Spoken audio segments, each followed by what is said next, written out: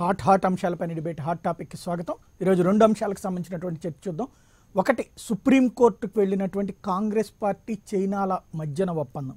రెండవది చంద్రబాబు గారు నలభై ఎనిమిది గంటల డెడ్ లైన్ సందర్భంగా ఒక ఎపిసోడ్ తాజాగా రెండవ ఎపిసోడ్ ప్రారంభించారు. అది రాష్ట్రానికి జరుగుతున్నటువంటి అన్యాయం అన్నటువంటిది. ఆ ఎపిసోడ్స్కి సంబంధించినటువంటి ఫాలోఅప్ ఎలా ఉండబోతుంది అలాగే ఆయన ప్రకటన వెనకాల ఉన్నటువంటి వాస్తవాలు ఏంటన్నటువంటి చర్చ చూద్దాం. ముందుగా కాంగ్రెస్ పార్టీకి ఈవేళ సుప్రీంకోర్టులో ఒక ప్రశ్న ఎదురైంది. ఇద్దరు పిటిషనర్లు వేసినటువంటి ఒక పిటిషన్ నేపథ్యంలో చైనాతో రెండు వేల ఎనిమిదో సంవత్సరంలో కాంగ్రెస్ పార్టీ కుదుర్చుకున్నటువంటి ఒప్పందం ఏంటి? ఒక రాజకీయ పార్టీ ఇంకొక దేశంలో ఉన్నటువంటి పార్టీతో ఒప్పందం కుదుర్చుకుంటాం కరెక్టేనా అన్నటువంటి చర్చ తెర మీదకి వచ్చింది. ఈ అంశానికి సంబంధించినటువంటి చర్చలో పాల్గొనేందుకు ప్రస్తుతం మనతో పాటు లైవ్లో ఉన్నారు కాంగ్రెస్ పార్టీ అధికార ప్రతినిధి రజనీష్. అలాగే భారతీయ జనతా పార్టీ నాయకులు చందు సాంబశివరావు గుంటూరు నుంచి మనతో పాటు లైవ్లో జాయిన్ అవుతున్నారు. ముందుగా సాంబశివరావు గారు ఏమంటారు? ఈ ఒప్పందాలు ఇట్లాంటిది గతంలో ఎక్కడన్నా జరిగినాయా? సాయి గారు గుడ్ మార్నింగ్ అండి. అక్కడ ఉన్న ప్యానల్ సభ్యులకు కూడా గుడ్ మార్నింగ్.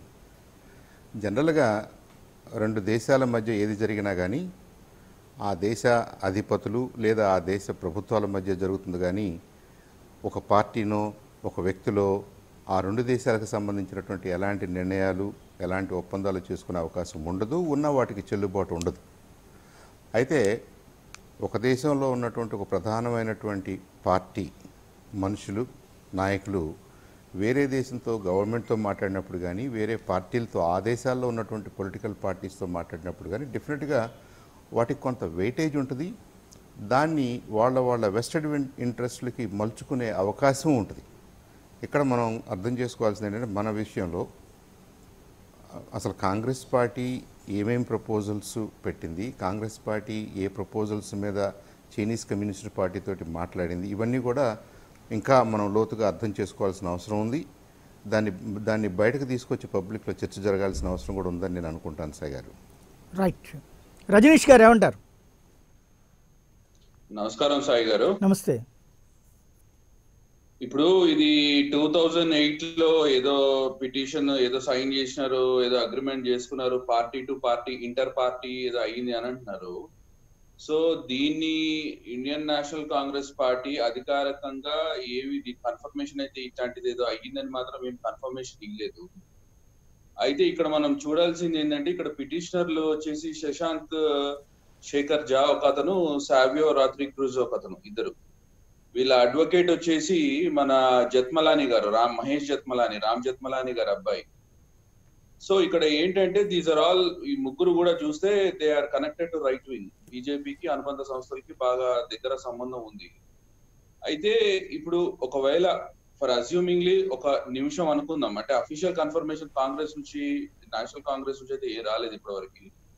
కానీ అజ్యూమింగ్లీ అనుకుందాం. ఒకవేళ పార్టీ టు పార్టీ ఏమైనా అయినా కానీ ఇందాక సాంబశివరావు గారు చెప్పినట్టు దానికి చెల్లుబాటు ఉండదండి. పార్టీ టు పార్టీ ఒక పొలిటికల్ పార్టీ ఇంకో పార్టీకి ఒక పార్టీ ఒక పొలిటికల్ పార్టీకి ఒక కంట్రీకి అసలు సంబంధం ఉండదు. చైనా లాంటిది కానీ లేకపోతే ఇండియా ఇండియా లాంటి దేశంలో అట్లాంటిది అసలు చెల్లుబాటు అసలు లీగల్గా టర్మినాలజీలో దానికి విలువే లేదు అసలు.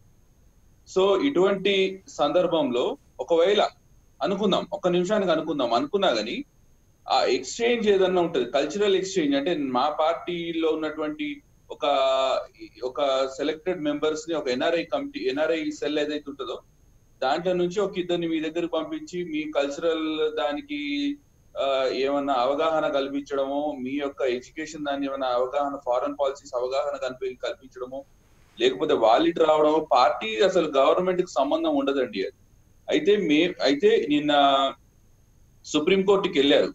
చీఫ్ జస్టిస్ బోబ్డే గారు అదే విధంగా జస్టిస్ బోప్నా గారు రామ్ సుబ్రహ్మణ్యం గారు నిన్న ఏమన్నారంటే చూడండి జత్మలాని గారు మీ పట్ల మాకు గౌరవం ఉంది. కాకపోతే మీరేందంటే ఇట్లాంటి బిల్స్ వేసి టైం వేస్ట్ చేయొద్దు.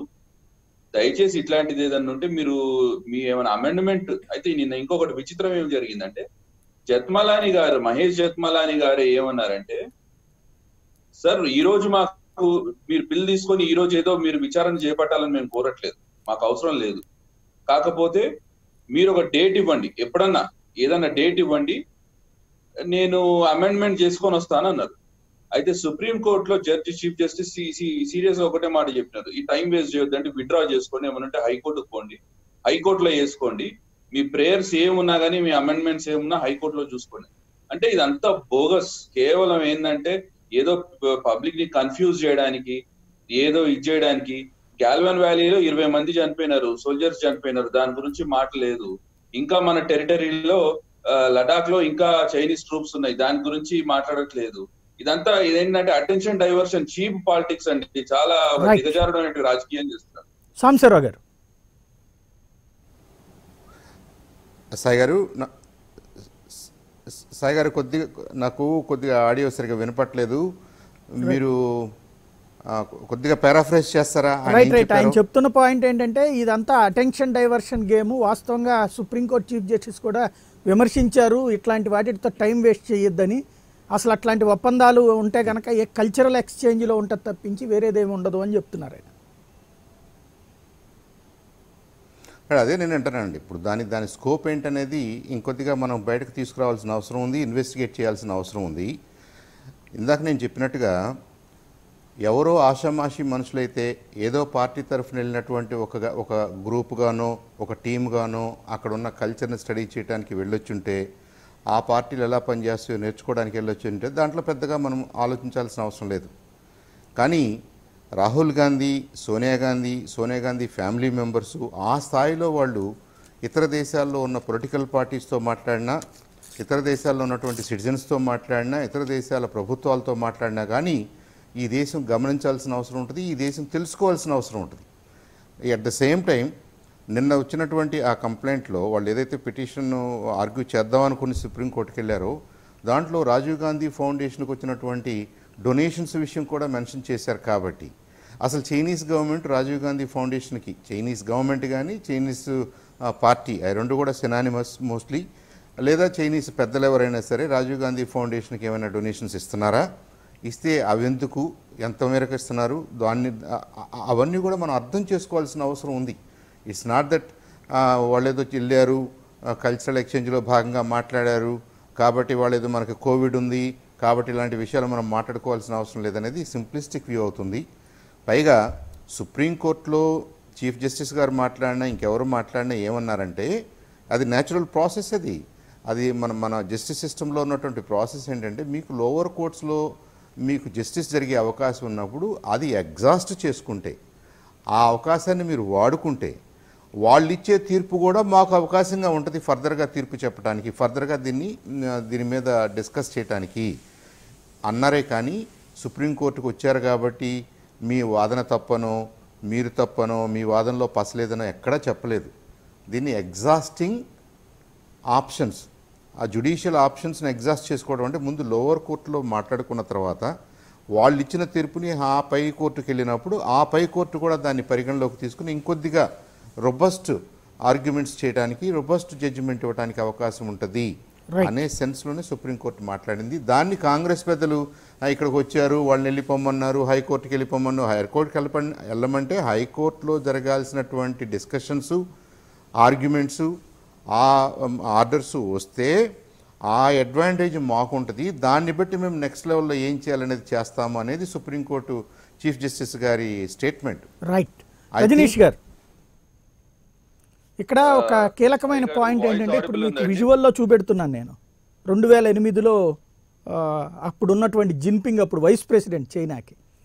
ఆయనతో అటు రాహుల్ గాంధీ కానీ సోనియా గాంధీ కానీ వీళ్ళందరూ కూర్చున్నటువంటి కాన్సెప్ట్ అగ్రిమెంట్ సంతకం పెడుతున్నటువంటి. మీరు చెప్పినటువంటి కల్చరల్ ఎక్స్చేంజ్ అనేటువంటిది కంట్రీస్ ఉంటుంది. నేను నేనేమంట సాయి గారు ఇక్కడ క్లారిఫికేషన్ ఏంటంటే.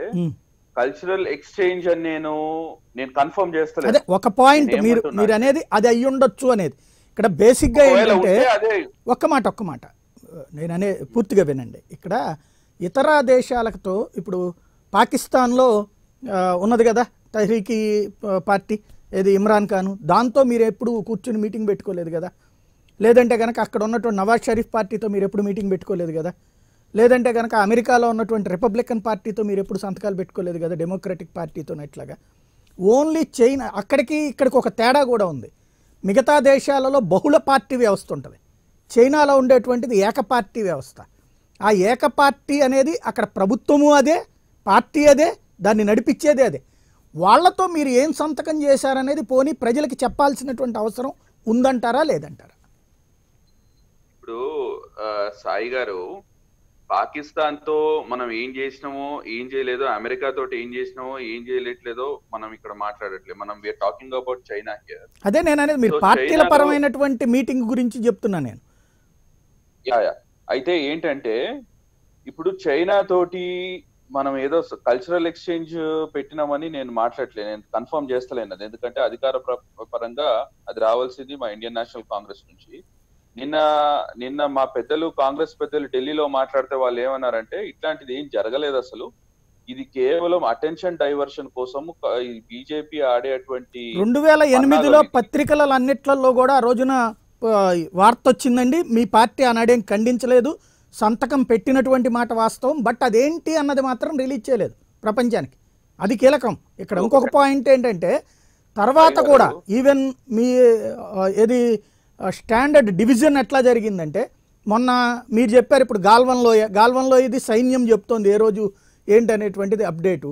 అదే సందర్భంలో మొన్న కరెక్ట్గా ఏదైతే డోక్లాం దగ్గర ఇన్సిడెంట్ జరుగుతూ ఉండగా డోక్లాంలో మన వాళ్ళు సైన్యం అక్కడ అడ్డుపడుతూ ఉండగా చైనా సైన్యాన్ని. కరెక్ట్గా ఆ టైంలో రాహుల్ గాంధీ వెళ్ళి విత్ ఫ్యామిలీతో చైనా అంబాసిడర్తో కూర్చున్నారు. ఫస్ట్ అలాంటిదేమీ లేదన్నారు మీడియాలో వార్తలు వచ్చినప్పుడు. తర్వాత చైనా వెబ్సైట్లో అధికారిక వెబ్సైట్లో ఆ ఫోటో పెట్టాక అవును అని చెప్పారు. పోనీ అప్పుడు కూడా ఎందుకు కూర్చున్నారో చెప్పలేదు. కీలకమైనటువంటిది భారతదేశ రక్షణకు సంబంధించినటువంటి సీరియస్ ఆస్పెక్ట్ జరుగుతున్నప్పుడు కూర్చుని ఒక ప్రతిపక్షానికి సంబంధించినటువంటి నాయకుడు వెళ్ళి కూర్చుని ఆ విషయం కూడా చెప్పకపోతే అది మీరు కరెక్ట్గా ఫెయిర్ పాలిటిక్స్ చేస్తున్నట్ట.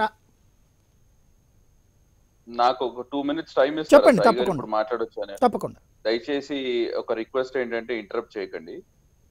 అయితే ఇప్పుడు ఏమంటున్నారు? సాంబశివరావు గారు ఏమంటున్నారు? ఆర్జీఎఫ్ ఏదైతే రాహుల్ గాంధీ ఫౌండేషన్కి డబ్బులు వచ్చినాయా ఒక కంటెస్ట్ ఆయన చెప్పేది. ఇదొక పాయింట్ అన్నారు ఆయన. అయితే రాహుల్ గాంధీ ఫౌండేషన్కి ఏదైతే.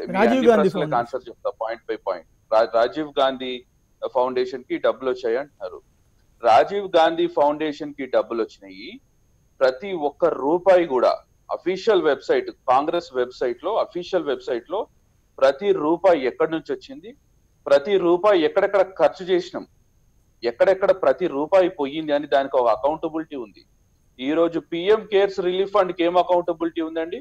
పిఎం కేర్స్ రిలీఫ్ ఫండ్కి ఓన్లీ అపోజిషన్ కాంగ్రెస్ పార్టీ బాగా ప్రొటెస్ట్ చేసిన తర్వాత దేశ వ్యాప్తంగా ప్రొటెస్ట్ చేసిన తర్వాత ఈ వేల లక్షల కోట్లు ఎక్కడ పోయినాయి అని చెప్పి మహానుభావ అని అడిగితే దాని తర్వాత ఆపరేషనల్ ఫంక్షన్స్ అంటే ఎక్కడ ఖర్చు చేస్తున్నాము అనేది లిమిటెడ్ ఇన్ఫర్మేషన్ ఇప్పటి వరకు కూడా దాంట్లో ట్రాన్స్పరెన్సీ లేదు. ఇప్పుడు చైనా నుంచి తీసుకున్నటువంటి డబ్బులది మా దగ్గర ఒక లిస్ట్ ఉంది. ఈ లిస్ట్ ఎక్కడి నుంచి వచ్చింది? పిఎం కేర్స్ అఫీషియల్ రిలీజ్ కాదు ఇది. ఏదైతే చైనీస్ కంపెనీలు మోడీ గారికి డబ్బులు ఇచ్చినాయో వాళ్ళు ట్వీట్ పెట్టినారు. ఎవరెవరు? Oppo one crore Paytm thirty eight percent China కంపెనీలకు ఉన్నది. వాళ్ళు వంద కోట్లు సియోమి పదిహేను కోట్లు బైట్ డాన్స్ ముప్పై కోట్లు హువాయిన్ సెవెన్ క్రోర్స్. ఇట్లా ఈ వాళ్ళు ట్వీట్లు పెడితే మాకు ఇన్ఫర్మేషన్ తెలిసింది. మేము ఇట్లా ఏమి దాచిపెట్టుకోవట్లేదు కదా. రాజీవ్ గాంధీ ఫౌండేషన్ డబ్బులు ఏ కంపెనీ ఇచ్చినారు ఏ కంపెనీ ఇచ్చినారు దాన్ని ఎక్కడ ఖర్చు పెడుతున్నాం అని చెప్పి మొత్తం ట్రాన్స్పరెంట్ ఉంది కదా. మీ గవర్నమెంట్ మీ చేతిలోనే ఉంది కదా. సరే ఒకవేళ రాహుల్ ఒక పాయింట్. రాహుల్ గాంధీ గారు పోయి అంబాసిడర్ తోటి ఏదో ముచ్చటించినారని చెప్పినారు. అంటే ఇప్పుడు రాహుల్ గాంధీ గారు ఇప్పుడు అంటే రాజీవ్ గాంధీ సోనియా గాంధీ రాహుల్ గాంధీ వల్లనే ఈ చైనీస్ ట్రూప్స్ మొత్తం ఇండియాలో ఉన్నాయంటారా? ఇక ఇంత చాతగాని ఇక్కడే రజనీష్ గారు. ఇక్కడే రజనీష్ గారు. ఒక్క మాట ఒక్క. మాట. మీరు డైవర్ట్ చేస్తున్నటువంటి పాయింట్ ఏంటంటే పిఎం కేర్స్ అనేటువంటిది ప్రభుత్వ అధికారిక వెబ్సైట్ అధికారిక సంస్థ. దాంట్లో మీరు పిఎం రిలీఫ్ ఫండ్ అని ఇదివరకు పెట్టినప్పుడు దాంట్లో మీరు ట్రస్టీగా ఉన్నారు కానీ లేదా ఆనాడు ప్రభుత్వం తరపున ఏమేమి ఖర్చు పెట్టారన్నది మీరేమి వెబ్సైట్లో ఏం పెట్టలేదు. దానికి సంబంధించి అధికారికంగా కాగ్ చూసుకుంటది. రేపు పొద్దున సార్. ఇక్కడ ప్ర- పార్టీకి రాజీవ్? ఫౌండేషన్. అనేటువంటి సంస్థకి సంబంధించిన విరాళాలు ఏంటన్నది లిస్ట్ బయటికి రిలీజ్ చేయలేదు సరే అది వదిలేయండి ఒకదాన్ని డైవర్ట్ చేయడం ఇక్కడ ఒక మాట? ఒక మాట? ఒక మాట డైవర్షన్ డైవర్షనల్ టాక్టిక్స్ కాకుండా నేను అన్న పాయింట్ సూటిగా అడిగిన పాయింట్ ఏంటంటే రెండు వేల ఎనిమిదిలో కుదుర్చుకున్న వీళ్ళిద్దరూ పెట్టిన సంతకం దేని మీద పోని అదన్నా చెప్పాలి అట్లాగే డోక్లాంలో సంఘటన జరుగుతున్నప్పుడు ఒక చైనీస్ రాయబారితో కూర్చుని ఏం మాట్లాడారో ప్రపంచానికి చెప్పడానికి అందులో నేను వెళ్ళలేదు కలవలేదని చెప్పి తర్వాత మళ్ళీ కలిసామని వాళ్ళు చెప్పాక అది ఏంటనేది చెప్పకపోవడం ఏ రకమైనటువంటి సంకేతం మీరు? సరే నేను దీనికి సమాధానం ఇస్తాను. కొంచెము దయచేసి నాకు టైం మీరు ఇవ్వండి ఇప్పటిదాకా టైం మీకే ఇచ్చింది. అదే అదే అండి. ఇప్పుడు మధ్యలో ఇంటరప్ట్ చేయకండి సాయి గారు దయచేసి. ఇప్పుడు ఏంటంటే ఇప్పుడు మీరు అనేది ఏంటంటే ఆ ఇద్దరు సంతకాలు పెట్టినారు ఏం పెట్టినారు. సాంబశివరావు గారు ఫస్ట్ చెప్పినారు గవర్నమెంట్ గవర్నమెంట్ చెల్లుతుంది కానీ ఓ పార్టీ టు పార్టీ చెల్లదని చెప్పేసి. మేము అదే స్టాండ్ తీసుకుంటున్నాం. అంటే పార్టీ పరంగా ఏం పెట్టారో మాత్రం చెప్పరు. Political party. ఏమండి? ఏం పెట్టారో చెప్పరు. స్టాండ్ ఉంది కాబట్టి అండి. ఎందుకు చెప్ ఎందుకు చెప్పమండి? ఎవ్రీథింగ్ విల్ బి అదే కదా చెప్పండి ట్రాన్స్పరెంట్ ఉంటది బయట ఉంటది. మేము చెప్పమని మేము చెప్పట్లేదు కదా. మీరన్నదే కదా చెప్పమని. ఇప్పుడు చెప్ చెప్పమని నేను చెప్పలేదండి. చెప్పము అని నేను చెప్పలేదు. టైం వచ్చినప్పుడు చెప్తాం. ఒకవేళ కోర్టు అడిగితే ఇస్తాము.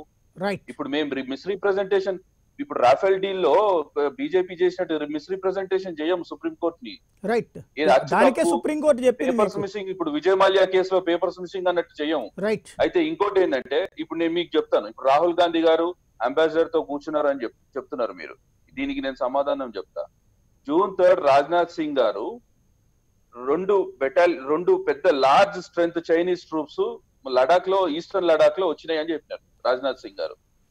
జూన్ ఫిఫ్టీన్త్ రోజు గాల్వన్ వ్యాలీలో ఇరవై మంది సైనికులు చనిపోయినారు.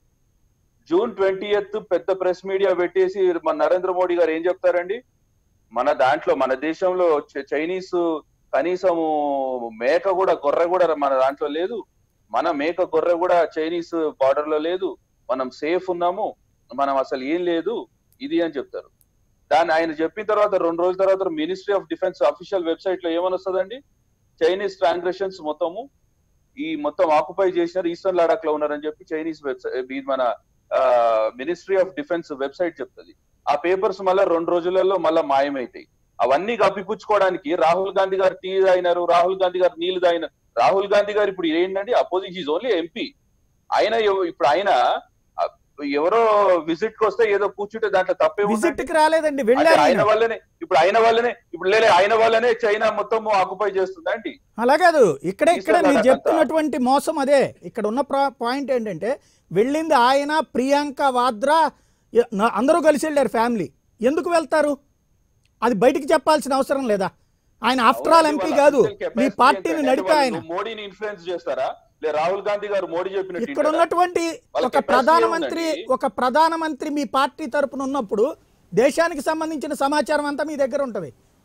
అదే కదా ఇక్కడ ముఖ్యం. మాట్లాడండి సార్. ఇప్పుడు గాల్వన్ వ్యాలీలో అయింది మాట్లాడండి. నేను అడిగింది అదే. మీ ఇప్పుడు 20th. మిమ్మల్ని ఒకటి అడిగినప్పుడు మీరు ఇంకో వైపుకి తీసుకెళ్తున్నారు. గాల్వన్ లోయలోకి సంబంధించి సైన్యం ఎప్పటికప్పుడు చెప్తోంది.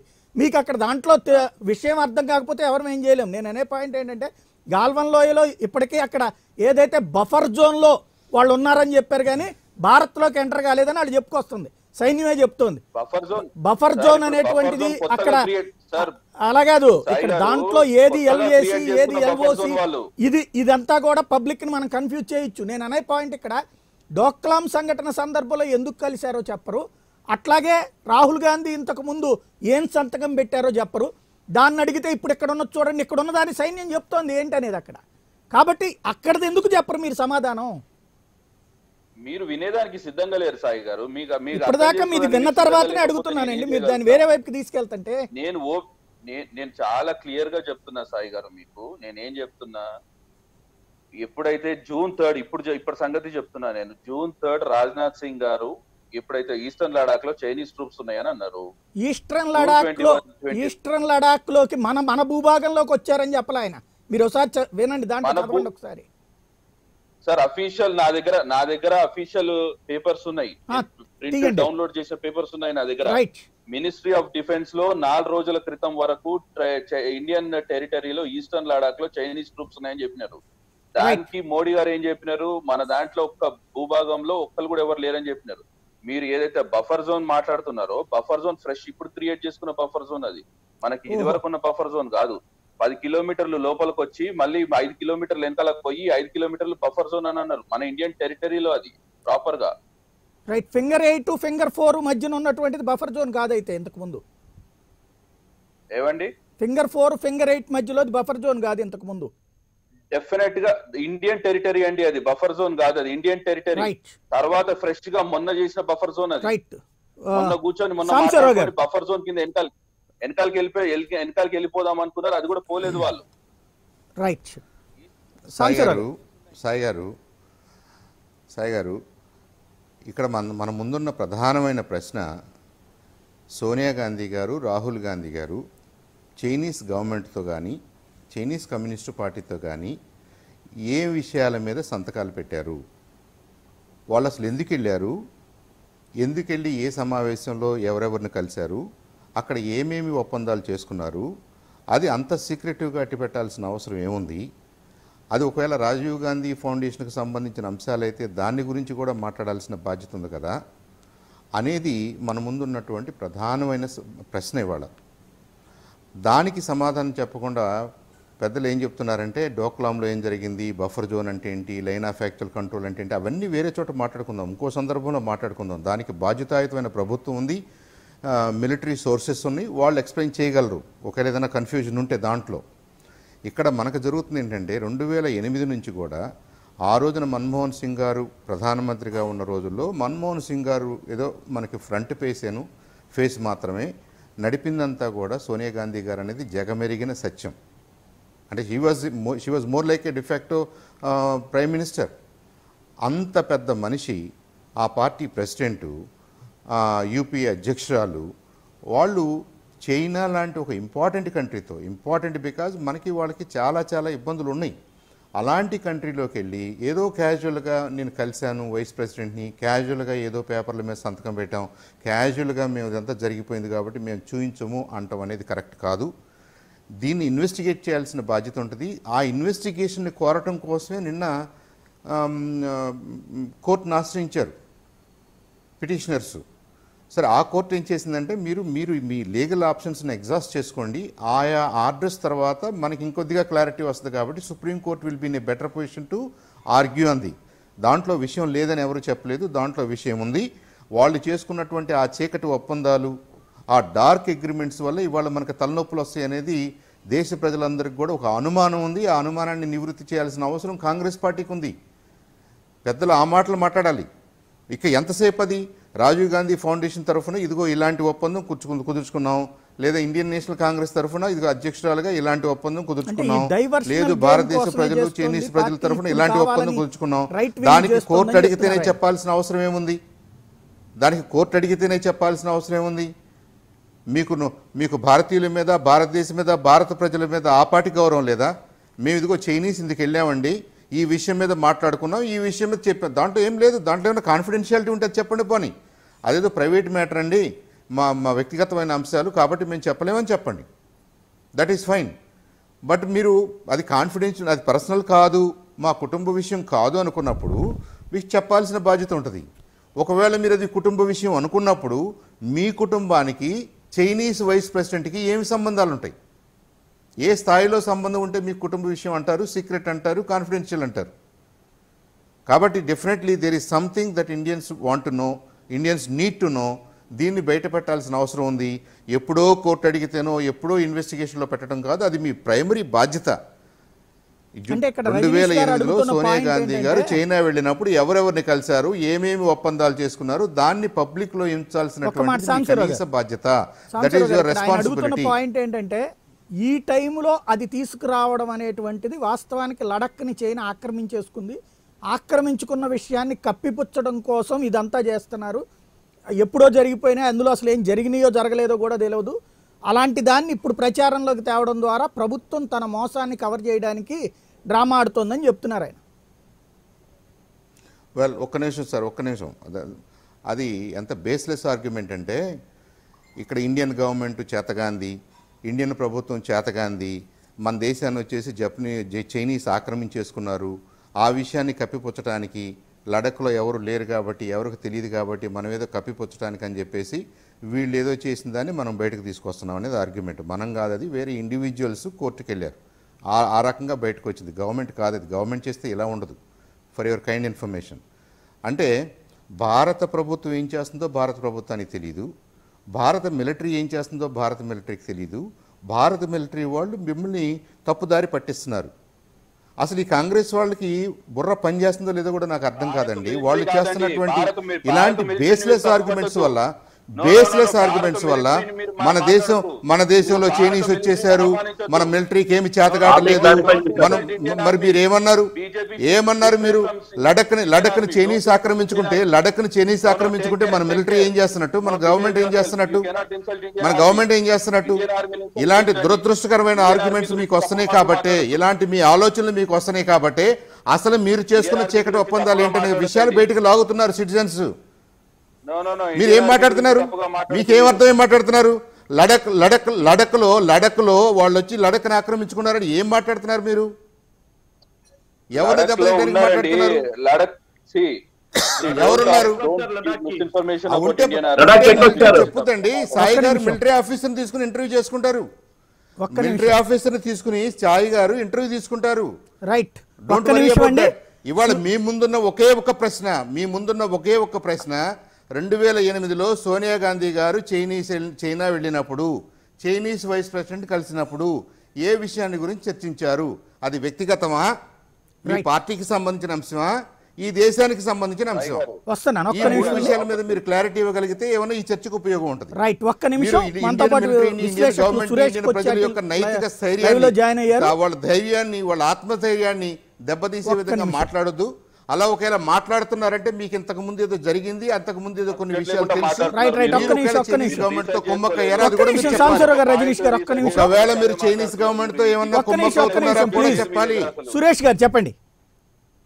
లేదు కాంగ్రెస్ ప్రతినిధి చెప్తున్నారు లడాక్ లడాక్ అని చెప్తున్నారు. నేను అడగాల్సింది వాళ్ళ దగ్గర ఈ లడాక్ అనేది చైనా వాళ్ళు ఎట్లా వచ్చారు లడాక్కి first of all nineteen sixty two లో నెహ్రూ గారు లడాక్లో ఏముంది? అక్కడ ఒక చుక్క ఏంటో ఏం ఉండదు అక్కడ. వాళ్ళు వస్తే కూడా ఏమైతుందని చెప్పి ముప్పై రెండు వేల కిలోమీటర్లు వాళ్ళకి ఇచ్చారు చైనా వాళ్ళకి. ఎవరు ఇచ్చారు ఒఫీషియల్ ఆన్ ద రికార్డ్ మన ఓడిపోయాం ఆ వారు. చైనా లడాక్కి ఎట్లా వచ్చారు ఫస్ట్ ఆఫ్ ఆల్ అది మన మన టెరిటరీలో వచ్చి నైన్టీన్ సిక్స్టీ టూ నుంచి ఎట్లా కూర్చున్నారు వాళ్ళు? అది ఫస్ట్ క్వశ్చన్ వస్తున్నారు. అడగాల్సింది. రెండో ప్రశ్న నేను అవ్వగానే మీరు మాట్లాడుదురు కానీ. ఒక. చిన్న క్లారిఫికేషన్ అదే ఇది మొత్తం వినండి మీరు మొత్తం కలిపి చెప్దురు కానీ సురేష్ గారు. ప్రైమ్ మినిస్టర్ రిలీఫ్ ఫండ్లో ఒక లీడర్ ఆఫ్ ఆపోజిషన్ కూడా లేరు. ప్రైమ్ మినిస్టర్ రిలీఫ్ ఫండ్ ఎవరున్నారు? కమిటీ మెంబర్గా ఉన్నది కాంగ్రెస్ పార్టీ ప్రెసిడెంట్ ఒక గవర్నమెంట్ ఫండ్లో ప్రైమ్ మినిస్టర్ రిలీఫ్ ఫండ్లో కూర్చున్నది ఇప్పుడు దాకా. అదే దానికోసం పిఎం కేర్ స్టార్ట్ చేశారు. ఎందుకంటే దీంట్లో సోనియా గాంధీ ఉన్నారు. Sonia Gandhi sitting on the last almost fourteen years నుంచి సోనియా గాంధీ ఎప్పటి నుంచి సీతారాం కేసును తీసేశారో అప్పటి నుంచి Sonia Gandhi sitting on prime ministers relief fund committee అది ఎట్లా ఆథరైజేషన్ ఇచ్చారండి? లీడర్ ఆఫ్ ఆపోజిషన్ ఎందుకు రాలేదు? అదే అడుగుతున్న ప్రశ్న అన్నమాట. కాంగ్రెస్ పార్టీ ప్రెసిడెంట్కి ప్రైమ్ మినిస్టర్ రిలీఫ్ ఫండ్లో ఏ రోల్ ఉంది? ఇప్పుడు మనం ప్రశ్నించే ప్రశ్న అది కాదు. మెయిన్గా అడుగుతుంది ఈ చైనీస్ కమ్యూనిస్ట్ పార్టీతో ఏం డీల్ చేసుకున్నారనేది. ఒక డిప్లొమాటిక్ ఫ్రంట్లో చూస్తే మీరు a political party can sign an agreement with another political party డెఫినెట్గా చేయొచ్చు.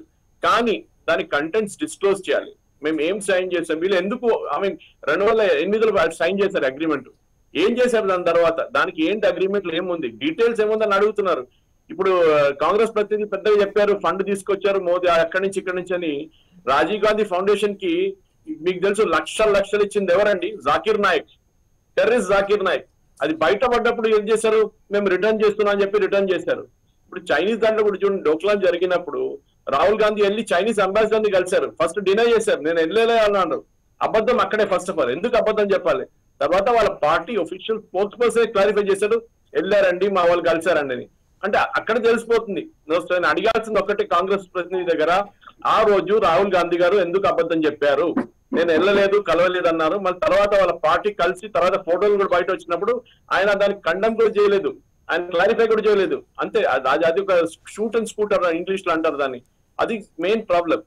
ప్రాబ్లం ఇప్పుడు నేను అడగాల్సింది ఒకటే కాంగ్రెస్ ప్రతినిధి దగ్గర లడాక్లో వచ్చింది లడాక్లో ఆర్మీ వచ్చింది డైవర్ట్ చేస్తున్నారు. అటెన్షన్ మనం డిబేట్ చేసేది ఆ పాయింట్ కాదు. మనం డిబేట్ చేసే పాయింట్ ఒకటే మీరు ఏ అగ్రిమెంట్ సైన్ చేశారో ఆ క్లారిటీ చెప్పండి. ఎందుకు చేశారో అది చెప్పండి. ఇవాళ దాకా కమ్యూనిస్ట్ పార్టీ ఆఫ్ ఇండియా అంటే సిపిఐ వాళ్ళకి ఒఫీషియల్ టైజ్ ఉన్నాయి కమ్యూనిస్ట్ పార్టీ ఆఫ్ చైనాతోని తర్వాత వాళ్ళు స్ప్లిట్ అయినప్పుడు సిపిఎం సిపిఐ స్ప్లిట్ అయినప్పుడు సిపిఐకి ఇప్పుడు కూడా అగ్రిమెంట్ ఉంది వాళ్ళ దగ్గర. వాళ్ళ పార్టీ నేతలు చైనాలో రష్యాలో వెళ్ళి ట్రీట్మెంట్ తీసుకుంటుండే మెడికల్ ట్రీట్మెంట్ కేరళ నుంచి. అదంతా మనం పక్కన పెడితే ఇక్కడ మనం అడిగింది మెయిన్ ప్రశ్న ఏంటంటే మీరు ఏం అగ్రి అదే చిన్న చీఫ్ జస్టిస్ కూడా అదే చెప్పారు. I'm aghast these are the exact words chief I'm aghast అంటే నేను నాకు అర్థం కావట్లేదు. ఒక పార్టీ వాళ్ళు ఎట్లా సైన్ చేశారు? చీఫ్ జస్టిస్ రిమార్క్ ఎస్టర్డే ఆయన పిటిషన్ విత్డ్రా చేయమన్నారు హైకోర్టుకి వెళ్ళమన్నారు అది ఇంకో మాట. కానీ చీఫ్ జస్టిస్ చెప్పిన మాట వినాలి మీరు? ఈ అగ్రిమెంట్ ఎట్లా సైన్ చేశారు వీళ్ళు? ఇది ఫస్ట్ టైం వింటున్నాను నేను నేను ఇప్పుడు దాకా వినలేదు అంటారు. ఇప్పుడు డెఫినెట్గా జస్టిస్ గొగోయ్ మీద అటాక్ చేసినట్టు ఇప్పుడు నెక్స్ట్ జస్టిస్ బోబ్డే మీద అటాక్ చేస్తారు. మీరు చూస్తూనే ఉండండి. నెక్స్ట్ అంటారు ఆయన బీజేపీ మనిషి ఆయన అది అది అంటారు. ఇది జరగబోయే విషయం చూడండి క్లియర్గా రైట్ రజనీష్ గారు. ఇప్పుడు ఒకటండి అప్పుడు అగ్రిమెంట్ ఏదో సైన్ చేసినారు అది ఇది అంటున్నారు కదా అప్పుడు ఒలింపిక్స్ ఇనాగ్రల్ ఫంక్షన్ జరిగింది. అక్కడికి సోనియా గాంధీ గారిని అదే విధంగా పార్టీ పెద్దలని మర్యాద పూర్వకంగా అక్కడ ఉన్నటువంటి పార్టీ గవర్నమెంట్కి సంబంధం లేకుండా ఇన్వైట్ చేయడం జరిగింది. ఇనాగ్రల్ ఫంక్షన్కి అక్కడ ఉన్నటువంటి స్పోర్ట్స్ మ్యాన్ స్పిరిట్ని ఒక ఎంకరేజ్ చేయడానికి పిలవడం జరిగింది. That is the main concept of that agreement okay that is one thing what you wanted to know second ఏంటంటే రాహుల్ గాంధీ ఫండ్ గురించి అంటున్నారు. సోనియా గాంధీ అక్కడ ఒక్క మాట ఒక్క మాట. మళ్ళీ రాహుల్. ఫౌండేషన్ వదిలేసి రెండు. వేల ఎనిమిదిలో కాంగ్రెస్ పార్టీని పిలిచారు వాళ్ళు ఒలింపిక్స్కి ప్రధానమంత్రిని. పిలుస్తారా ఎవరైనా Congress vice? President of Chinese government vice president of Chinese government ఇక్కడ ఉన్నటువంటి సోనియా గాంధీ గారు సాయి గారు మీరు నన్ను వీళ్ళు వీళ్ళు అడిగారు. వీళ్ళు. మర్యాద ఒక్క నిమిషం, ఒలింపిక్ కాదది ఆ బ్యాక్ డ్రాప్ అది కాదు రైట్ సాంబశివరావు గారు ఒక్క నిమిషం ఆయన కంప్లీట్ చేయని ఏం తెలుసా అండి మీరు చూసారా సాంబశివరావు గారు Right. మీరు చూసారా? ఆ, రజనీష్ గారు. మరి మీరు చూపించమని చెప్తున్నాం. కదండి. ఇప్పుడు రజనీష్ గారు ఆయన చూడలేదు మీరు చూడలేదు ఎవరు చూడలేదు చూడలేదు. అదే వచ్చింది ఎందుకు గొడవ? ఇప్పుడు ఎందుకు మీరు? చెప్పినటువంటి విధంగా వెళ్ళారండి ఒక్క నిమిషం సాంబశివరావు గారు. ఇక్కడ రజనీష్ గారు ఒక పాయింట్ ఏంటంటే ఓకే మీరు చెప్పినట్టు పోనీ స్పోర్ట్స్ వీళ్ళిద్దరూ అదే రాహుల్ గాంధీ గారు స్పోర్ట్స్ మెన్ అన్న ఉద్దేశంతో వెళ్ళుంటారు పోనీ. వాళ్ళు స్పోర్ట్స్ మెన్స్ని మామూలుగా గెస్ట్గా పిలుస్తుంటారు. లేదంటే కనుక ఓ పార్టీ అధికార పార్టీ కదా ప్రధానమంత్రి కంటే ఈయనే బెటర్ కదా అని పిలిచి ఉండొచ్చు. నో అబ్జెక్షన్ దాంట్లో. అయితే అప్పుడు జిన్పింగ్తో ఎందు ఏం సంతకం చేశారన్నదే కదా ఇక్కడ ఇష్యూ అవునండి చెప్పండి. ఏం ఏం సంతకం చేశారు పోనీ? నేను చెప్తున్నా నేను సి చూడండి సాయి గారు. ఏ ఒక ఒక పెద్ద మనిషి ఇంకో పెద్ద మనిషిని కలిస్తే ఏదైనా కానీ ఒక హై లెవెల్ హై లెవెల్లో ఉన్నప్పుడు ఏదైనా రైటింగ్లో పెట్టుకుంటారు దాంట్లో తప్పే ఉన్నది అది ఏంటది? కానివ్వండి. ఏం రైటింగ్ అది? It could be C party to party it could be anything అండి. Party to party that that will be transparent ఎప్పుడైనా కానీ పబ్లిక్లో వస్తుంది అంటే డొమైన్లో వస్తుంది మా వెబ్సైట్లో. నేను అడిగింది ఇదే ముక్క. అది ఏమన్నా వెబ్సైట్లో పెట్టారా? పోనీ. ఇదిగో ఇది రాశాము. ఇట్లాంటి అనలిస్ట్ మాట్లాడుతూ ఏమన్నారు ఆయన? చీఫ్ జస్టిస్ సర్ప్రైజ్ నేను అడిగిన పాయింట్ ఇక్కడ మళ్ళీ మీరు డైవర్ట్ చేస్తున్నారు. ఏమనేది మీరే చెప్తున్నారు కదా. ఆ పార్టీ టు? పార్టీ రాసుకున్నది మా గారు. వెబ్సైట్లో పెడతామని అట్లాంటిది రెండు వేల ఎనిమిదిలో ఏమన్నది పెట్టిందా మీ పార్టీ మీ అందరికి నోటీస్లో ఉందా ఏం సంతకం పెట్టారు ఇద్దరు అన్నది సాయి గారు దానికి అసలు ఆ పేపర్కి ఇంపార్టెన్సే లేదు ఎట్లా ఉండదండి చైనాని. చైనాని రూల్ చేస్తూ చైనాని నియంతృత్వంగా వేరే పార్టీ లేకుండా అక్కడ ప్రజాస్వామ్యం లేకుండా నడుపుతున్నటువంటి ఒక పార్టీతో మీరు సంతకం పెట్టేటువంటి దానికి వాల్యూ లేకుండా ఎలా ఉంటది? అక్కడ చైనా ప్రభుత్వమైనా చైనా పార్టీ అయినా చైనాని ఈవేళ ఈవేళ భారతదేశంలో ఇంకొకటి జవహర్ లాల్ నెహ్రూ గారు ఆక్సాయ్ చిన్ అనేటువంటిది ఆక్రమించుకున్న రోజున బా మనం మనం మోసపోయాం అన్నారు. పోనీ ఆ తర్వాత కాలంలో కూడా వాళ్ళు ఏనాడు మనల్ని సరిగ్గా బతకనీల. అట్లాంటి వాళ్ళతో ఒప్పందం కుదుర్చుకునేటప్పుడు ఏమిటి ప్రాతిపదిక గతంలో ఉన్న అక్షయ్ చిన్ తిరిగిద్దాం అనుకున్నారా లేకపోతే కనుక ఇంకేదైనా? ఉందా అనుకుని ఏమన్నా? ఒప్పందం మాట్లాడిస్తారా? చెప్పాలా లేదా మాట్లాడతారా నేను మాట్లాడిస్తారా మీరే మాట్లాడతారా అడుగుతున్నది మీరు మీరు వేరే వైపుకి వెళ్ళకుండా అడుగుతున్నా నేను వేరే వైపు కాదండి ఒక్క స్టేట్మెంట్ కంప్లీట్ చేయనిచ్చిండ్రా సాయి గారు మీరు మీరు డైవర్ట్ చేసుకెళ్తున్నప్పుడే నేను ఆపుతాను. మీ స్టేట్మెంట్ పూర్తి కాకుండా వేరే వైపుకి వినట్లేదు. తీసుకెళ్తున్నప్పుడే రెండు నిమిషాలు మాట్లాడనీయట్లేదు నన్ను మీరు ఇక్కడ మీరు నేను అడిగిన దానికి కాకుండా మీరు వేరే వైపుకి వెళ్తున్నారు. ఏం వేరే వైపు అండి? ఇప్పుడు నెహ్రూ గారు చేసినారు. సరే నెహ్రూ గారు ఏదో మీరు అంటున్నారు. ఇప్పుడు కుగ్రాంత్ నాలా దగ్గర పాట్రోలింగ్ దగ్గర ఇంకా పాయింట్ ఫిఫ్టీన్ దగ్గర చైనీస్ ట్రూప్స్ ఉన్నాయి. గోగ్రా పీపీ సెవెంటీన్ దగ్గర ట్రూప్స్ ఉన్నాయి. North bank of Pangong seventeenth eighteenth నుంచి ట్రూప్స్ ఉన్నాయి. దానికి కూడా నెహ్రూ గారు వచ్చి అడ్డుపడుతున్నారా? వీళ్ళని ఏం వీళ్ళు? ఆ పెట్రోలింగ్ పాయింట్ ఏంటనేది. మీకు అది అర్థం కాకపోతే ఏం ఐపీఎల్ మ్యాచ్లో ఐపీఎల్ మ్యాచ్లో చైనీస్ ఇన్వెస్ట్మెంట్ ఎందుకుందండి ఇంకా? ఎందుకు లేదు? ఈ దేశంలో ఏమైనా నిషేధించారా? క్యాన్సల్ చేస్తున్నారు. ఎప్పుడో ఇదే ఇదే. ఇదే మీరు మీరు చేస్తున్నటువంటిది ఇదే. ఐపీఎల్కి ఇంతవరకు నిషేధించలేదు. ఇప్పటికీ చైనా చైనా ప్రొడక్ట్స్ని నిషేధించలా? ఇక్కడ ఇన్వెస్ట్మెంట్స్కి సంబంధించి రిస్ట్రిక్షన్స్ ఉంటున్నాయి. మీరు డైవర్ట్ అవుతున్నది అనేది అదే. రెండు వేల ఎనిమిదిలో మీరు ఏ? ఒప్పందం కుదుర్చుకున్నారు అంటే మీరు? ఐపీఎల్లో ఇన్వెస్ట్మెంట్ ఎట్టుంటది? సెంటెన్స్ కూడా మీరు మాట్లాడిస్తే కదా సాయి అరే ఇప్పుడు మీరు మీరు మాట్లాడుతున్నారు. పోనీ మీరు చెప్పండి సార్. ఐపీఎల్ గురించి చెప్తున్నారు. నేను రెండు వేల ఎనిమిదిలో ఒప్పందం కాదే. మన మన డిబేటే రెండు వేల ఎనిమిది 2008 ఒప్పందం. దాని 2008 గురించి అన్నప్పుడు మీరు తీసుకొచ్చి చెప్తున్నారు? దాన్ని invitation సంతకాలు పెట్టింది. ఇన్విటేషన్ ఒలింపిక్స్కి రమ్మని చెప్పి ఇన్విటేషన్ సంతకాలు పెట్టారు. ఇన్విటేషన్ మీద అక్కడికి వెళ్ళాక సంతకం పెట్టారా? కల్చరల్ ఎక్స్చేంజ్ ఉంటుంది సార్. మీరు చెప్పండి పోనీ. నేను అనేది అదే సార్. అదే అలాంటి ఒప్పందం. మీరు ఏమన్నా ఇంతకుముందు రిపబ్లికన్ పార్టీతో కానీ లేకపోతే కనుక పాకిస్తాన్లో ఉన్నటువంటి పార్టీలతో కానీ లేదు పోని మలేషియాలో ఉన్న పార్టీలతో కానీ ఎవరితోనన్నా అటువంటి ఒప్పందాలు ఉన్నాయా మీకు? ఎంక్వైరీ చేయండి. మీ దగ్గర ఉంది కదా ప్రభుత్వం ఇప్పుడు చెప్తున్నది అదే కమ్యూనిస్ట్ పార్టీలకు ఉంటుంది అట్లాంటి ఒప్పందం. సిపిఐకో సిపిఎంకో వేరే దేశాల్లో ఉన్న పార్టీలతో వాళ్ళ హెల్త్ గురించి వాళ్ళకి. సంబంధించిన ఎక్స్చేంజ్ గురించి ఉంటది. కాంగ్రెస్ ఇంతకు ముందు ఎప్పుడు పెట్టుకోవాలి పోనీ మీరు చెప్పండి. ఇంతకు ముందు మేము ఈ దేశాలతో కుదుర్చుకున్నామని. అదే నేను- నేను చెప్తున్నా కదా ఎంక్వైరీ మీరు చేయండి. మీ ప్రభుత్వం ఉంది కదా. నేను అంటుంది ప్రభుత్వం నాదైతే కనుక ఈ పార్టీకి దాని మీద చేసేవాడిని కానీ నేను అడుగుతున్న పాయింట్ మీ పార్టీ గతంలో కుదుర్చుకున్న ఒప్పందం ఏమైనా ఉన్నాయా పోనీ? నేను అదే అంటున్నా. ఇప్పుడు నేను అదే అంటున్నా. మీకే మీ ఇప్పుడు మీరు ఎంక్వైరీలు చేస్తున్నారు కదా. ఇప్పుడు చెత్త కాగితాలన్నీ తీసుకొని వచ్చి ముందలేసుకొని కూర్చుంటారు కదా. మీకు ప్రభుత్వం నడిపించే చేతగాక చైనీస్ని ఆపలేక వాళ్ళ ఇన్వెస్ట్మెంట్ వాళ్ళు ఈ పడేస్తున్న డబ్బులు వద్దని చెప్పలేక దమ్ము లేక ఇప్పుడు మీరు మాట్లాడుతున్నారు కదా. మీరు చేసుకోండి ఇంకా ఎంక్వైరీ చేసుకోండి. రైట్ సాంబశివరావు గారు ఇది సురేష్ సురేష్ గారికి దాని గురించి ఇన్ఫర్మేషన్ ఉంటుందని కానీ ఆ కాగితం రజనీష్ ఆయన గారు, చేతిలో రజనీష్ ఉంటుందని గారు. మనం ఎక్స్పెక్ట్ చేయట్లా. రజనీష్ గారు. గాజుల రజనీష్ గారు. చెప్పండి దగ్గర చెప్పండి. ఇన్ఫర్మేషన్ ఉంటుందని మనం ఎక్స్పెక్ట్ చేయట్లా. మనం ఎక్స్పెక్ట్ చేయట్లా. కానీ ఆయన ఒక పార్టీ ప్రతినిధిగా వచ్చి ఇక్కడ డిస్కషన్లో కూర్చున్నప్పుడు కనీసం లాజికల్గా ఆ ఫోటో సందర్భం ఏంటి? ఆ ఫోటోలో ఏం జరిగి ఉంటుంది? అది జరిగి ఉంటుందండి మేము తీసుకుంటాము మా పార్టీ ఆర్కైవ్స్లో ఉండొచ్చు మా పార్టీ ఆఫీస్లో ఉండొచ్చు అది మా పార్టీ విషయం అయితే లేదు వారి కుటుంబ విషయం అయితే మరి వాళ్ళు చెప్పలేరు కాబట్టి వారి కుటుంబ విషయం అని మనం వదిలేద్దాం. లేదు ఇది ప్రభుత్వానికి సంబంధించింది అయితే ప్రభుత్వం ఆర్కైవ్స్లో ఉంటుంది ఆఫీసులో ఉంటుంది రికార్డ్స్లో ఉంటుంది కాబట్టి చూసుకుందాం. తప్పులేదు అంతవరకే I think we're all sensible.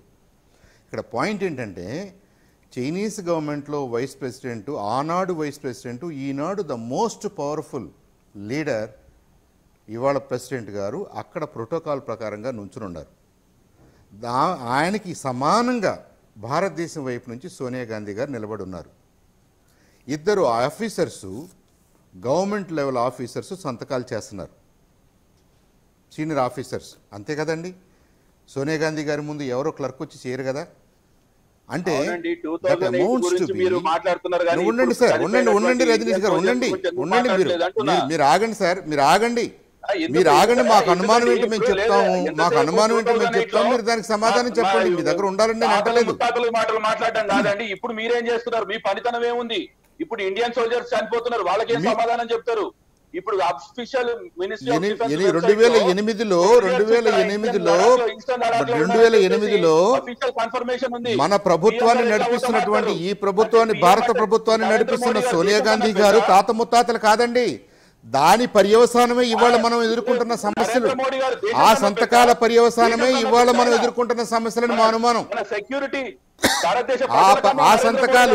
ఆ చీకటి సంతకాల పర్యవసానమే ఇవాళ ప్రపంచం ఎదుర్కొంటున్న? సమస్యలు ఇవాళ భారతదేశం ఎదుర్కొంటున్న? సమస్యలని మా అది అనుమానం చెప్పండి. మీరు చెప్పండి సార్ దాంతో ఏ సంబంధం లేదండి మేము హలో గుడ్? మార్నింగ్ మీరు హలో గుడ్ మార్నింగ్ అని. చెప్పండి ఫైనల్గా సురేష్ గారు. మీరు జిన్పింగ్ పక్కన పెట్టుకుని సోనియా గాంధీ గారు పక్కన పెట్టుకుని ఇద్దరు హైయెస్ట్ లెవెల్ ఆఫ్ ఆఫీసర్స్ సంతకాలు క్యాజువల్గా జరిగింది. వాళ్ళు హలో అంటే హలో అనుకుని సంతకాలు గా హలో అంటే. హలో అనుకోలేదు. అది వాళ్ళ గవర్నమెంట్ ఇన్వెస్టిగేట్ చేయడానికి గవర్నమెంట్లో రైట్, ఎందుకు ఉంటలేదంటే ఇది చీకటి ఒప్పందం కాబట్టి గవర్నమెంట్ దొరకటం లేదు రైట్ రైట్ ఒక్క ఇన్వెస్టిగేట్ చేస్తాం. ఏం గారు. కంగారు పడద్దు అది ఇన్వెస్టిగేట్ చేస్తారు కోర్టులు చూస్తే కోర్టులు ఆర్డర్స్ ఇస్తాయి రైట్ రైట్ ఒక్క నిమిషం ఒక్క నిమిషం. వెళ్ళి ఎనిమిది కూడా సురేష్ గారు మీరు కంక్లూడ్ చేయండి. చెప్పండి మీరు చేసిన మీరు చెప్పుకోలేని. ఒప్పందాల ఫలితమే ఇవాళ భారతదేశానికి వస్తున్న ఇబ్బంది మీరు చెప్పుకోలేని మీరు చెప్పలేని ఆ ఒప్పందాల. పర్యవసానమే. ప్రభుత్వం చేస్తున్నటువంటి. ఎదుర్కొంటున్నటువంటి ఈ సమస్యలు. భారత. జవాన్లు ఇవాళ అమరవీరులు అవడానికి ఒక్క నిమిషం ఒక్క నిమిషం ఒక్క ఒప్పందం అవును సురేష్ గారు. అదేంటో చెప్పండి ఆ. కాగితం ఏంటో చెప్పండి వాళ్ళు. ఎందుకు కూర్చున్నారో చెప్పండి. అంత హైయెస్ట్ ప్రోటోకాల్ ఎందుకు Vivo has withdrawn from IPL మీరు మీరు రీసెర్చ్ చేసుకోండి. వివో లేరు ఇప్పుడు ఐపీఎల్ స్పాన్సర్ కాదు వివో. అఫీషియల్గా కన్ఫర్మ్ చేసుకున్నారు. ఇంకోటి నెక్స్ట్ మీరు అన్నారు పేటిఎం వాళ్ళు మోదీ గారికి డబ్బులు ఇచ్చారని. అది కూడా మీకు తెలియదు. పేటిఎం కాదండి.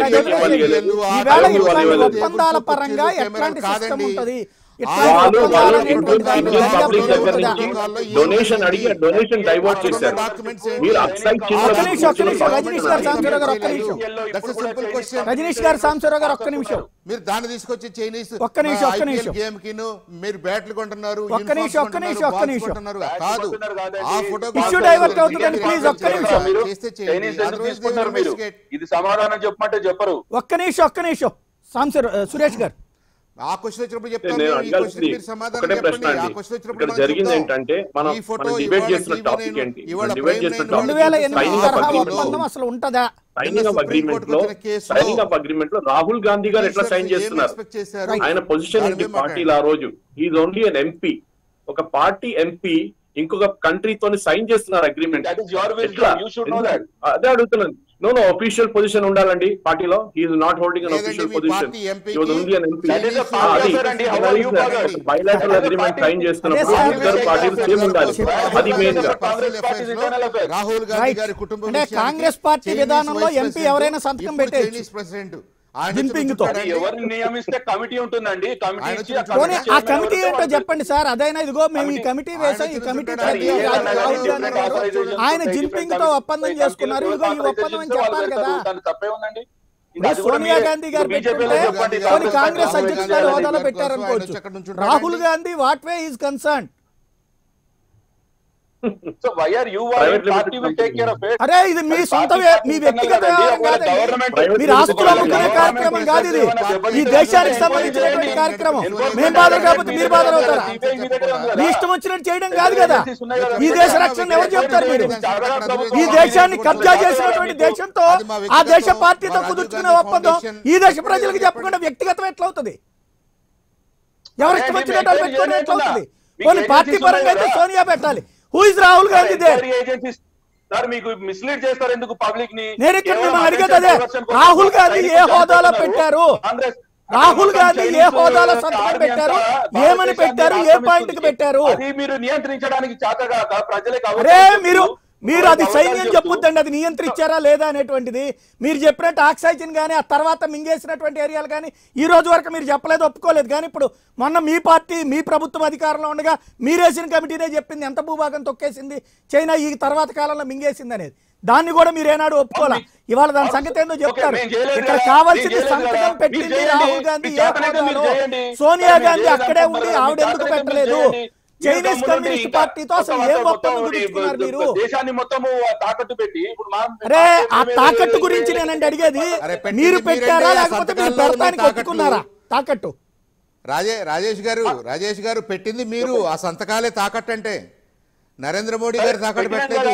మన్మోహన్ చేయండి సింగ్ గారు ఇప్పుడు. పెట్టలేదు. రైట్ అది అది మన్మోహన్ చేయలేకపోతే సింగ్ గారు మీరు గారు గారు దాని గురించి. ఆలోచించండి మన్మోహన్ సింగ్ గారు మన రాష్ట్ర ప్రధాని పెట్టండి లేడు అక్కడ. కదా. వేరే అమెండ్మెంట్ చేస్తారు కదా. అది కూడా అమెండ్మెంట్ చేయండి. చేతగా మరి ఏం పెట్టారు చెప్పండి? సోనియా గాంధీ గారు రాహుల్ గాంధీ గారు ఏం పెట్టారు? సోనియా అడిగేది గాంధీ గారికి, రాహుల్ పారదర్శకత గాంధీ గారికి వైస్ ప్రెసిడెంట్ తోటి ఏంటి సంబంధం? చెప్పండి రజనీష్ గారు. సార్ సాయి గారు చెప్పండి. ట్రాన్స్పరెన్సీ ఉండాలా? వి బిలీవ్ ఇన్ ట్రాన్స్పరెన్సీ అందుకే రాజీవ్ గాంధీ ఫౌండేషన్ కూడా సోనియా గాంధీ వదిలేసేయండి నేను రాజీవ్ ఫౌండేషన్ గురించి కూడా డిబేట్ అడగట్లా. కుదుర్చుకున్న ఒప్పందం ఏంటో చెప్పాల్సిన అవసరం ఉందా. లేదా? పెట్టలేదు. పెట్టలేదు. Rajiv Gandhi foundation is independent of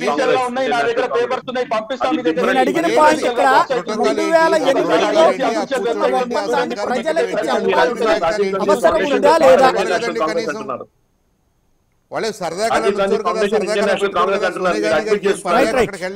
Congress party. Hussain Rao Khammam నుంచి ఫోన్ లైన్లో ఉన్నారు. హుస్సేన్ గారు చెప్పండి.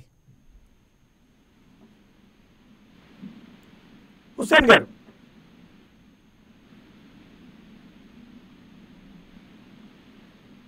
నా మాట మీకు వినపడుతుందండి రైట్ ఫోన్ లైన్ కట్ అయింది. ఈ అంశాన్ని ఇక్కడితో కంక్లూడ్ చేద్దాం. థ్యాంక్ యూ అండి. థ్యాంక్ యూ రజనీష్ గారు సాంబశివరావు గారు సురేష్ గారు. ఇది పరిస్థితి ఒకవైపున కాంగ్రెస్ పార్టీ రెండు వేల ఎనిమిదిలో కుదుర్చుకున్నటువంటి ఒప్పందం వెనకాల ఉన్నటువంటి వాస్తవం ఏంటన్న దాని మీద అవసరమైతే చేతనైతే దర్యాప్తు చేయించుకోమని కాంగ్రెస్ చెప్తోంది. అదే సందర్భంలో ఎలాంటి ఒప్పందాలు కుదిరినాయి అన్నటువంటి విషయానికి సంబంధించి అయితే తమ దగ్గర సమాచారం లేదంటుంది. మరి రానున్న రోజుల్లో దీనికి సంబంధించినటువంటి విషయం బయటపడుతుందో లేదు చూద్దాం. ఇప్పుడు ఒక చిన్న బ్రేక్ తీసుకుందాం. బ్రేక్ తర్వాత చంద్రబాబు నాయుడు నలభై ఎనిమిది గంటల డెడ్ లైన్ తర్వాత ప్రతి నలభై ఎనిమిది గంటలకి ఒక కొత్త అంశాన్ని ప్రజలకి గతంలో జరిగిన లోపాలను ఎత్తి చూపెడతానన్నటువంటి అంశాలకు సంబంధించినటువంటి చర్చ చూద్దాం.